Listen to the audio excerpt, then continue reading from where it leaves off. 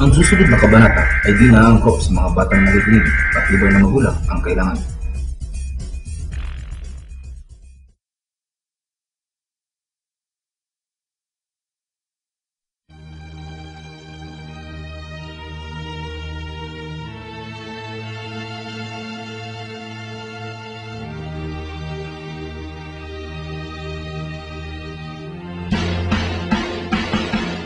Nang mahawakan mo ito, kala ko ay safe na ako. Pero hindi nagtagal mo bas din ang tunay na kulay.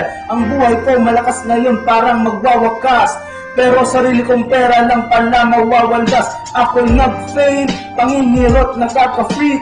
Sa pag-ihi ko, talagang nakaka-shrink. Belly bitty bye-bye, ito'y naglaway. Bakit ba ganito? Para kong mamamatay. All the pain I got Wala akong information. Chika lang ng chika Binaliwala aking emotions. Yo anyway, everyday Iba't bang girls aking cassettes. And then one time nalaman ko na meron kang sakit.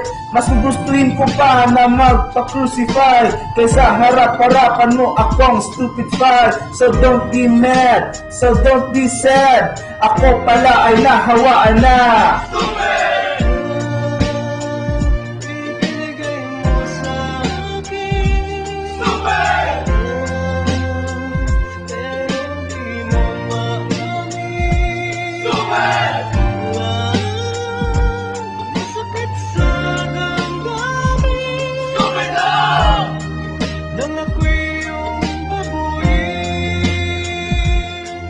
Buhay ko ay nag-iba simula magkaroon nito. Every hour, every minute, pawis ko'y sabaw.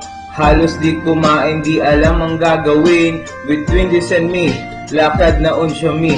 No one else comes close, ako ay laging mag-isa. Nang napatunayan ni Doc at positive na nga. Pinagtapat sa akin na magpa-check up na. Anong magagawa ko kundi ito ay sunodin? Halos isumpa dahil sa gastos na nadulot Pero bakit nakatulad ko? Madaming napipikot Nagtry ako ng isa hanggang naging lima. At nahawaan na, nga na lang nga nga. Tumingin sa salamin na alalang nakalipas Kasakit pa lang ganito. May gonorrhea pero bago ang lahat ipagtatapat sinta. Sana gamit na lang kita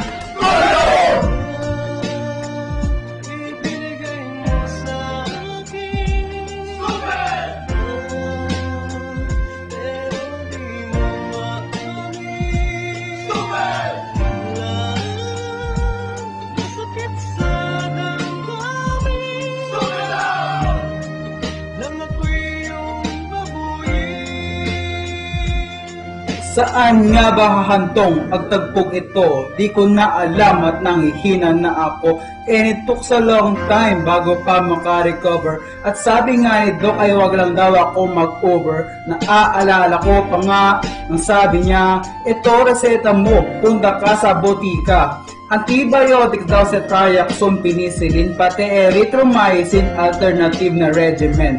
Tanong ulit ako paano nagagamutin. Sabi niya, sabi niya, eh nandyan naman lahat eh. Bawa payo niya sa akin, di ko sinuway Mas sinusunod ko nga ito kaysa sa aking nanay Lahat na lang ng bagay na paggasos na ako Lumabas na side effects, nasuka ako ng todo pag ako'y may klase, ako'y nadidighay, parang lantang gulay, baka ako ay mamatay. Then, lumipas na nga araw at naayos na ako. Tinanong ko na si Doc at baka okay na ako. Chinek up niya ako at ako'y naluluha. Ang sabi niya, boy, ligtas ka na sa tulo mo. Ako'y napatalon, pantalon ko'y nabiyak. Wasak na wasak ang balitang naganap. Inaamin ko noon na nampok-pok ako pero ngayon, haha, binabawi ko na.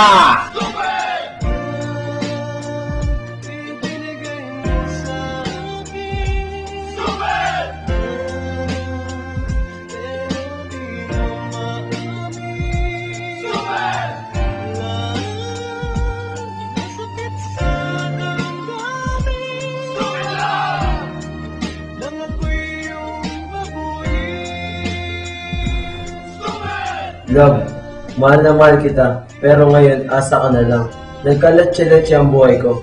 Dahil sa'yo, sabi mo ako na ang mahal mo. May trabaho ka pala paggabi. Eh wala eh, napagastos ako ng marami. Higit pa sa nagastos ko sa'yo. Hindi na talaga kita mahal. Ayoko na, ayoko na. Ever, ever, and ever.